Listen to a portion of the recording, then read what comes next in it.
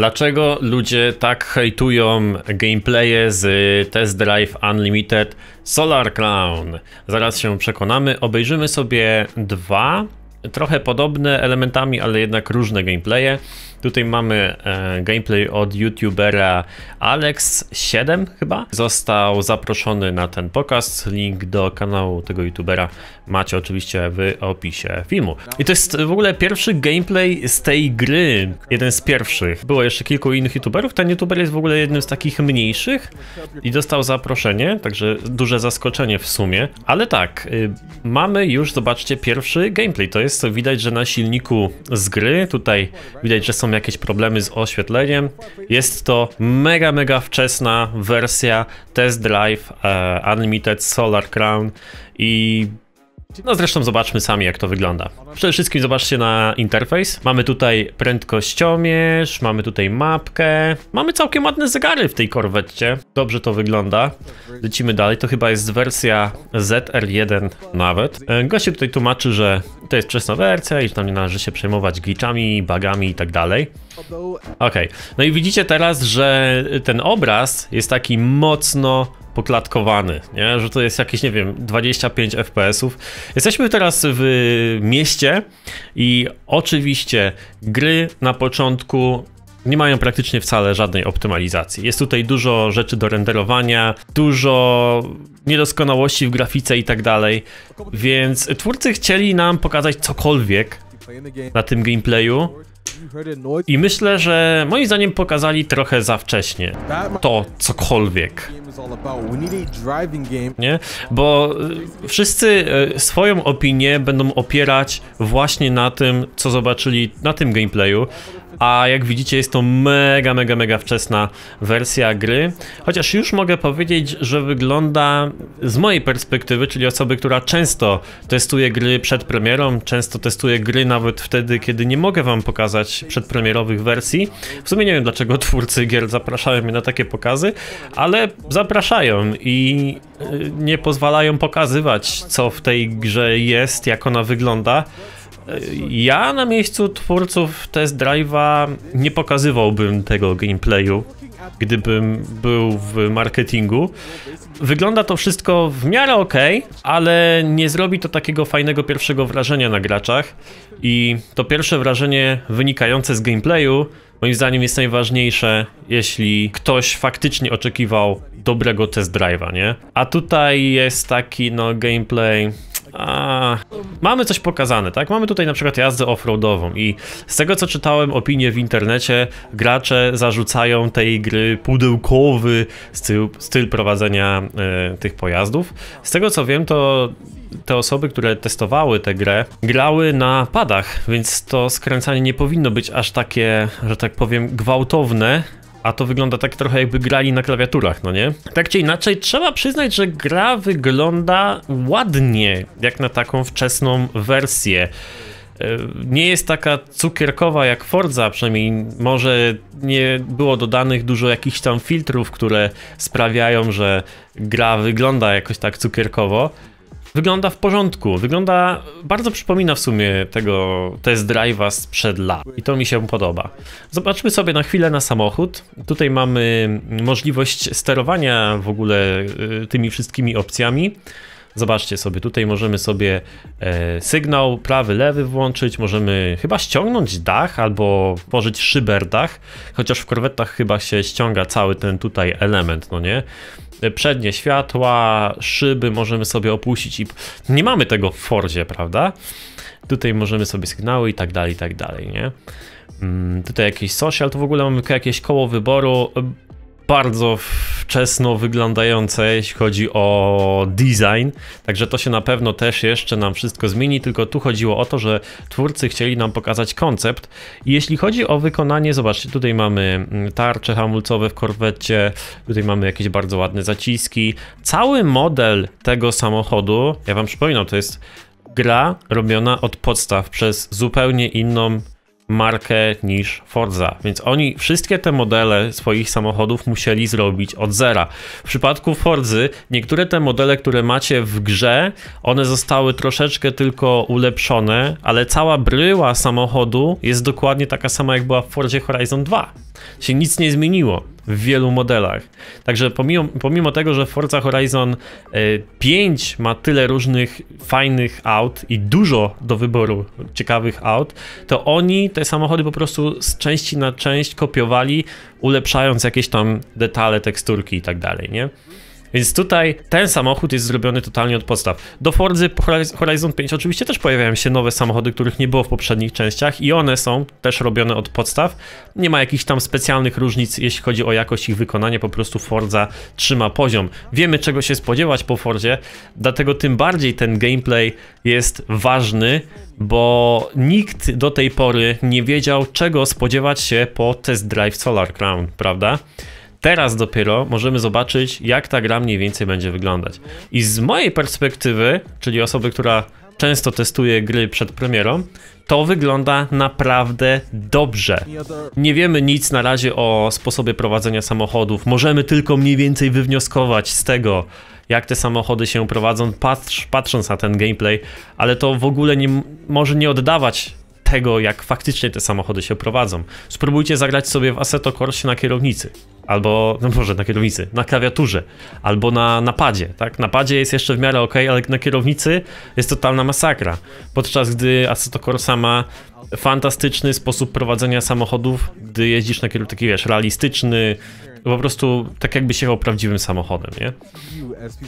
Także też tutaj nie możemy e, wnioskować na, na podstawie tego, że oni sobie, może ta gra jest skonstruowana głównie pod kierownicę, chociaż wątpię, żeby ktokolwiek normalny robił grę aspirującą jako taką dla szerszej grupy odbiorców, która by skierowana była tylko do graczy na kierownicę. Tak, gracze, którzy grają na kierownicach, to jest jakiś taki mały, bardzo mały procent wszystkich graczy, którzy grają sobie w daną grę wyścigową.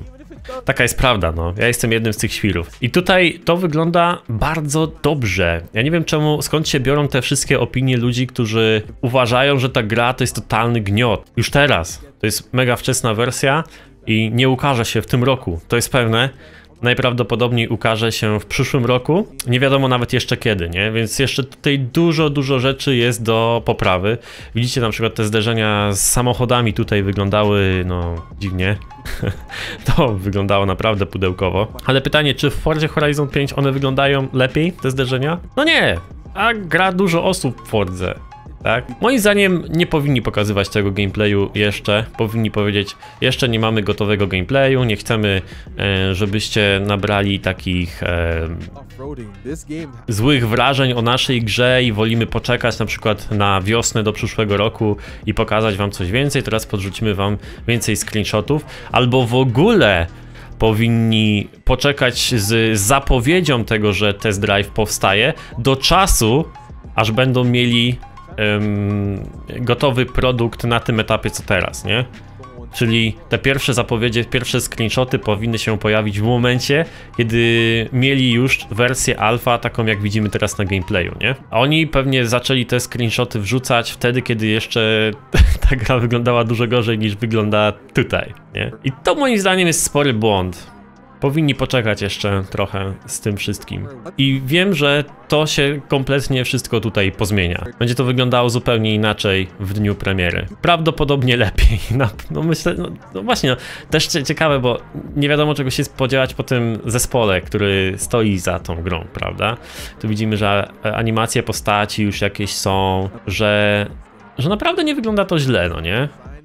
Ale o, tutaj mamy taki fajny widok w ogóle na tym wieżowcu. To będzie taki hotel, ten wieżowiec, na którym teraz y, jakby wszyscy są na tym pokazie. To będzie taki hotel, w którym wszyscy gracze będą mogli się spotykać, będziemy mieli tam swoje mm, y, posiad nie posiadłości, tylko jak to się nazywa, apartamenty, tak?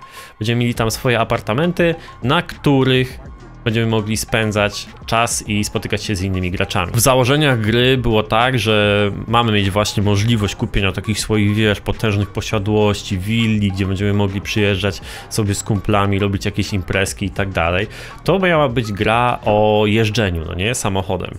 Tutaj widzimy, że są jakieś wyścigi. No, wyścigi to są, to jest nie, nieodłączna część każdej gry wyścigowej, prawda? Więc ten element musi tutaj być. Moim zdaniem wygląda to dobrze, bo zobaczcie, jak ładnie pracuje tutaj zawieszenie. To nie wiem na jakim to silniku jest graficznym robiona ta gra, ale to wygląda trochę jak Unreal Engine. Jeśli wiecie może na jakim silniku graficznym jest robiona ta gra, to dajcie znać w komentarzach. Nie y, zagłębiłem się w to aż tak bardzo. Wygląda to dobrze, to, to, to oświetlenie pracuje tutaj super. Jest jakaś, y, są jakieś kolizje, nie są one najlepsze. Są zniszczenia samochodów. Samochody prowadzą się właśnie nie wiadomo jak, nie? Prowadzą się tak, jak się prowadzą. Mamy jakieś ogromne miasto, po którym możemy się już teraz poruszać.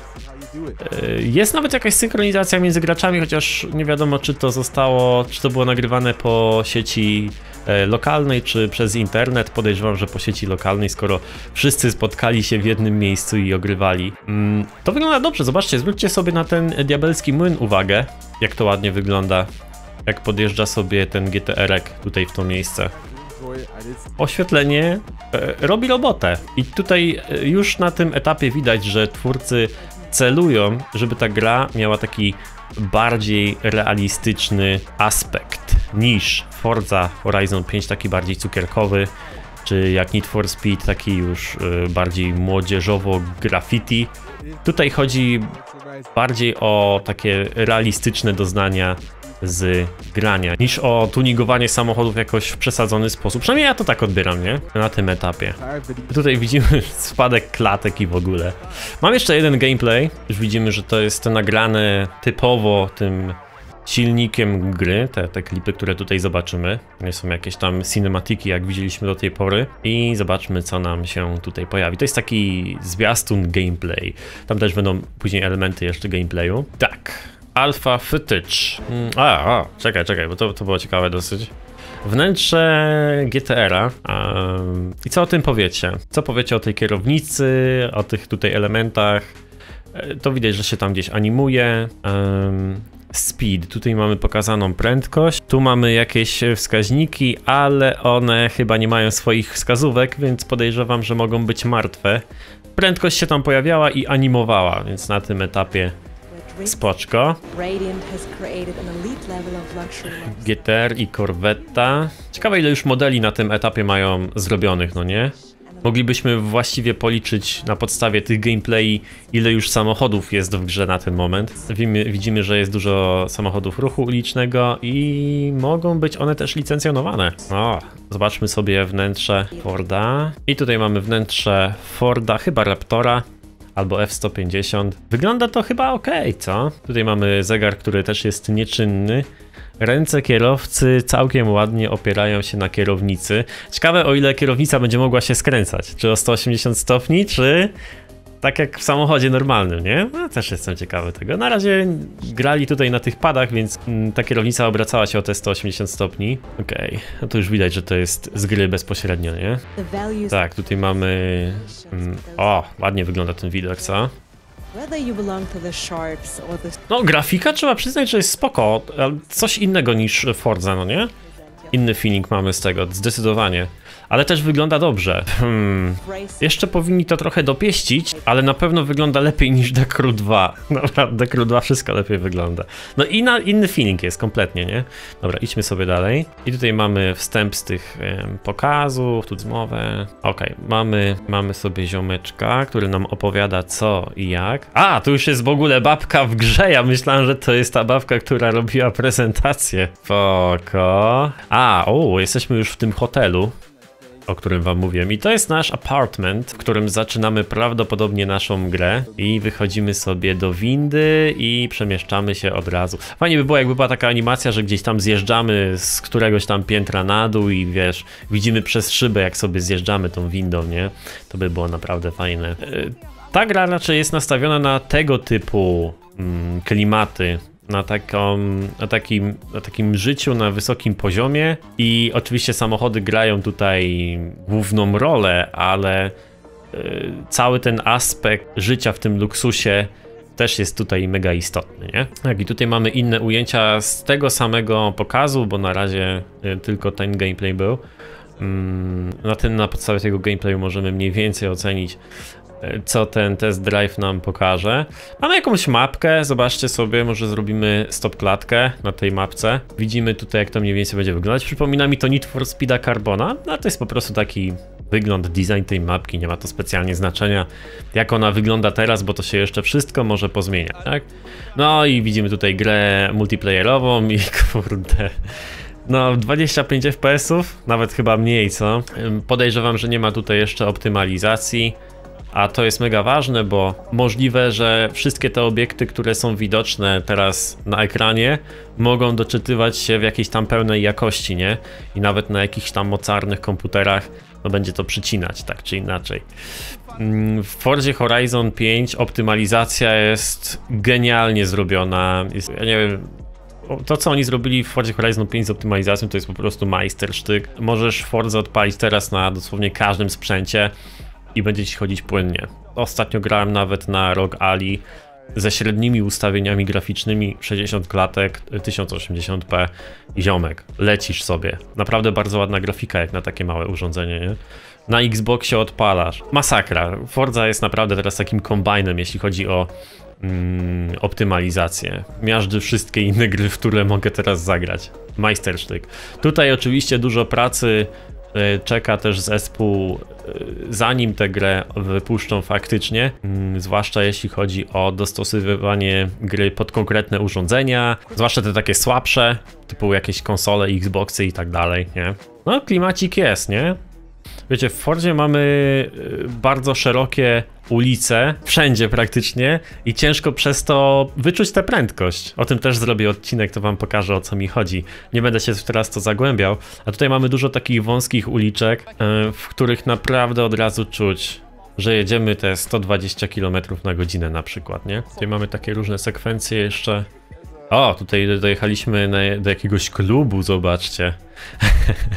Wszystkie NPC mają w ogóle taki sam strój, białe koszulki i ruszają się chyba nawet w ten sam sposób. Także widzicie, tutaj jeszcze sporo jest do roboty i naprawdę nie ma co polegać na tym, jak ta gra wygląda teraz. O, i teraz sobie ruszamy. Jakaś tam synchronizacja już teraz jest. Ok, jest ruch drogowy, który działa.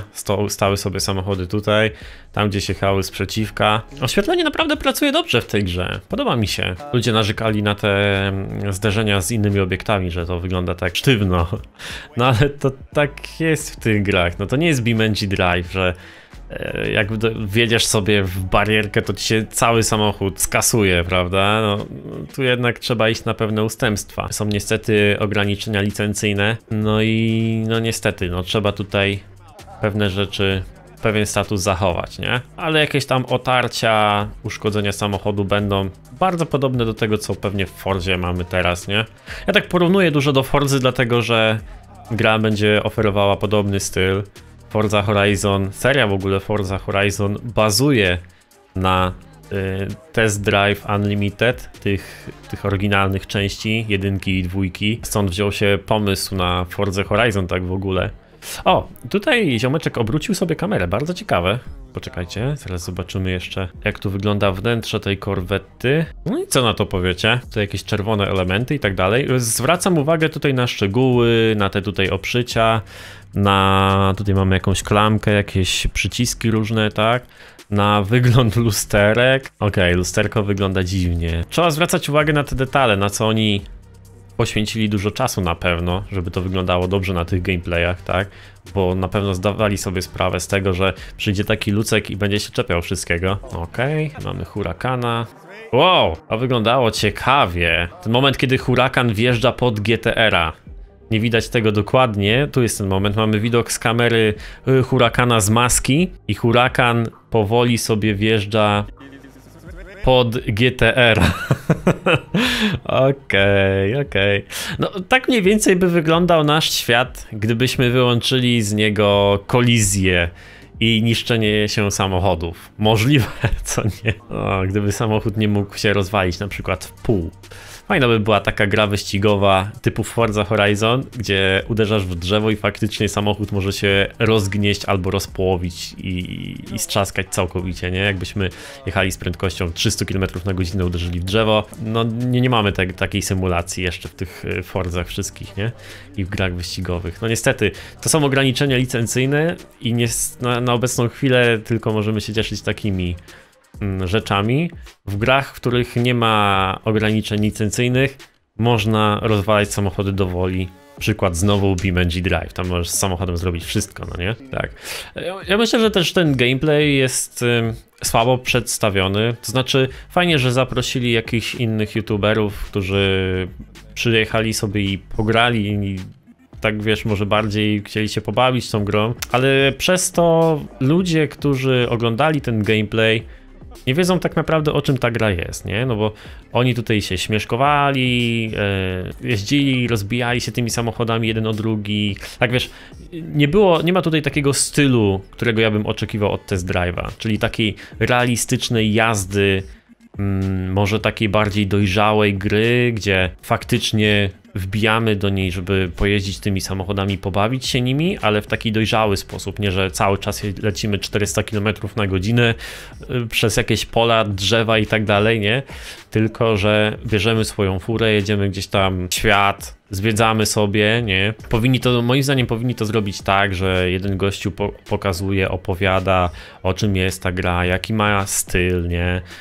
Y, co się w niej robi, jak się w niej bawimy, w co oni celują, jaki jest ich projekt i zamysł w ogóle na tę grę, bo teraz to obecnie wygląda tak, jakby to równie dobrze mógłby być na przykład Car X Drift Racing Online, nie? Gdzie każdy jedzie w swoją stronę i robi co mu się podoba, prawda? Tutaj widzimy, że jeżdżą chyba sobie do HQ, dojechali do jakiegoś HQ, tutaj mają spotkanko, mogą sobie wyjść gdzieś, coś pooglądać i taki ogólnie high life, nie? Także tak nie do końca wiadomo o co w tym gameplayu chodzi. Wiadomo, że oni coś tam robili, gdzieś tam coś szli i tak dalej, ale nie ma to takiego swojego stylu, prawda? Okej, okay, i mamy teraz sekwencję z wyścigiem. Okej, okay, to wyglądało dosyć ciekawe, jak e, Raptor e, pchał GTR-a i na tym gracze też opierają swoją opinię, że w tej grze nie ma fizyki kompletnie.